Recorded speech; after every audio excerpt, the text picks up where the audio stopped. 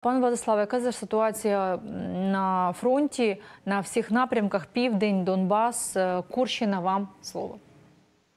Отже, в принципі, новин з фронту, прес-служба Генерального штабу звітує про ситуацію полі ви назвали, я б ще додав. В принципі, зараз є щонайменше сім ділянок, де ворог активно веде свої наступальні дії. І окрім згаданих вами Курського, Покровського напрямку, немає складна ситуація на півдні нашої країни.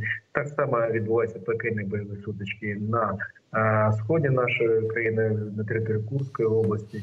На Ліманському напрямку ворог продовжує вести атакувальні дії. Тобто, певною мірою е, прогноз української військової розвідки щодо того, що до початку жовтня у ворожої армії буде вихвачено наступальний потенціал, не стало тією самою реальністю.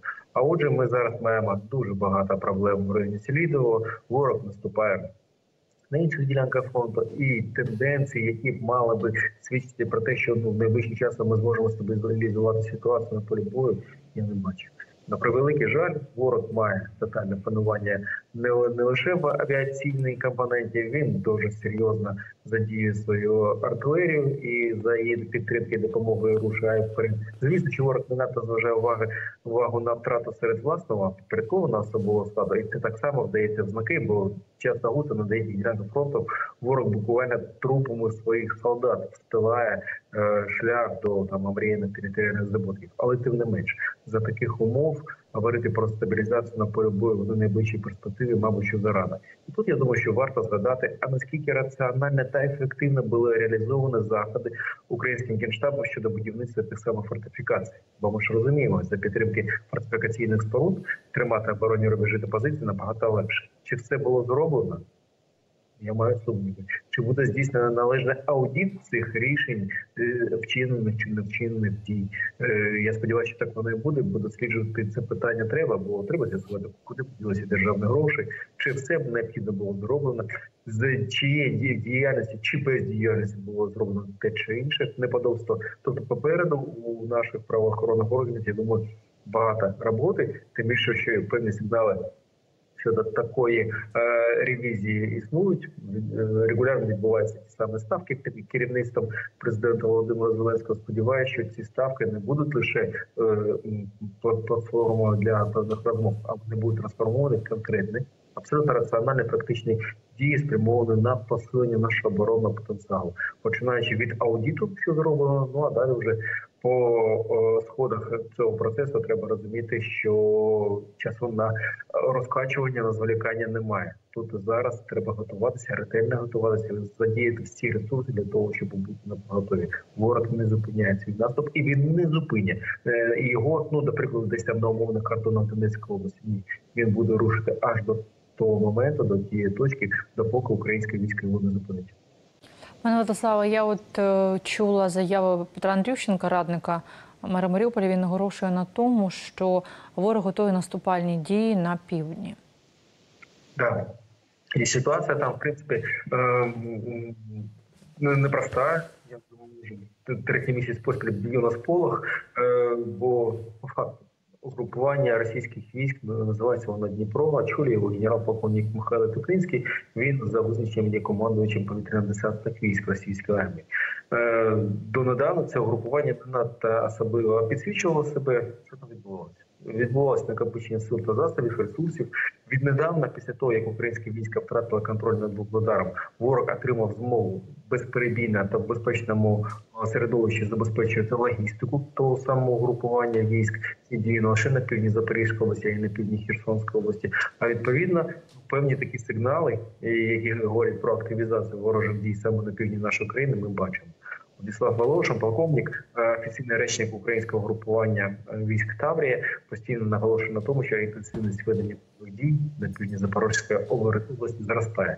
На тлі того, що ми маємо цілий е, стос невдалих дій оборонного характеру на Вугледарському та на Времійському напрямках, ми маємо клопіт. Ворог продовжує посилювати свій тиск. Я думаю, що він буде далі намагатись докорінно змінити ситуацію на цій ділянці фронту. Бо йому важливо убезпечити той самий сухопутний коридор, який нині поєднує тимчасово окупований Донець з тимчасово окупованим Кримом. Ну і звісно, він марить реалізувати ключову політичну візію Путіна. Згадаємо, чотири новоприєднаних регіони в Росії з'явилися, а це не лише Донецька та Луганська області, це відповідно наша Запорізька область і наша Херсонщина.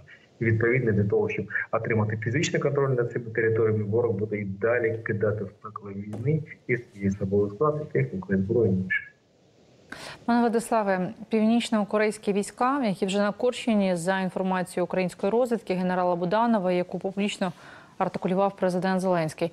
Яка це загроза для України? Загроза чимала. Ну, з одного боку, якщо ми е, вимірюємо суто цифрами, то 490 тисяч зараз російських військовослужбовців задіяно в рамках так званої спеціальної військової операції. Плюс 10 чи до 12 тисяч не настільки вражаюча цифра, але ключове. Ми, ми маємо розуміти, ми маємо розуміти, але не маємо повного зараз розуміння, де саме і в який спосіб будуть задіяні північно-корейські військовослужбовці. Якщо як підрозділ допоміжний інженерно-технічний, то треба віддати належно. Вони здається, чи не є не найкращими у світі, бо рівень інженерних фортифікацій, їх глибина, система побудови на території Північної Кореї просто вражає. Якщо вони в такий спосіб будуть діяти на території Курської області Російської Федерації, а ми ж пам'ятаємо, ворог тільки не просувається вперед, відразу починає зариватися в землю. Ми матимемо хлопець. Що стосується властивостей спе- спеціальних підрозділів північно-корейської армії, тут у мене інформації дуже мало, та й на широкий загал насправді не так багато відомостей про це. Я думаю, що лише поле бою продемонструє і підсвітить нам наскільки вони справні та ефективні. Ну а для нас ключовий фактор, який спроможний буде погасити е, цю саму ще одну проблему для українського війська, це фактор ресурсів. Артилерія, боєприпаси до цієї артилерії, важке піхотне озброєння, е, це автоматичні гранатомети і великокаліберні кулемети. Це те, що може стати нам допоміжним під час ведення бойових дій на відстані до 500 метрів. Це надзвичайно важливо.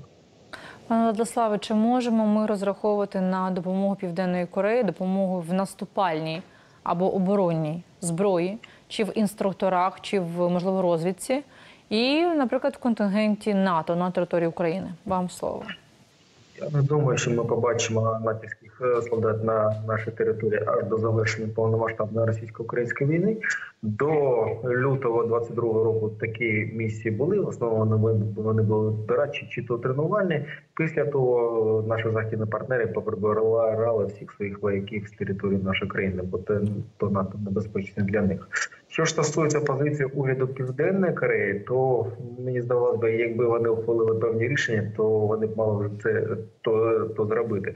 Бо щонайменше 8 мільйонів артилерійських боєприпасів за е, трохи більше ніж за рік е, передав Пхеньян з Москви для підтримання бойових можливостей російської артилерії. Тож, в принципі, привід для активізації більш такого масштабного залучення е, південно-корейської армії до російсько-українського протистояння вже на часі. Е, Звісно, що це нам для нас стало би допоміжним, бо ми ж пам'ятаємо, армія Південної Кореї є п'ятою за місією у світі, а оборонно-промисловий потенціал цієї азійської країни є на восьмій сходинці в питаннях продажу озброєння та військової техніки, тим більше високоточне, високотехнологічне, відповідно дуже ефективне. Але чи стане це те, що для нас насправді дуже важливо, поки що важко прогнозувати, не маючи абсолютно чітко артикульованих політичних заяв, робити перечесні висновки, і це не професійно. Пане Владиславе, дякуємо вам. Владислав Селезньов, військовий журналіст, спікер Генштабу Збройних сил України в 14-17 роках.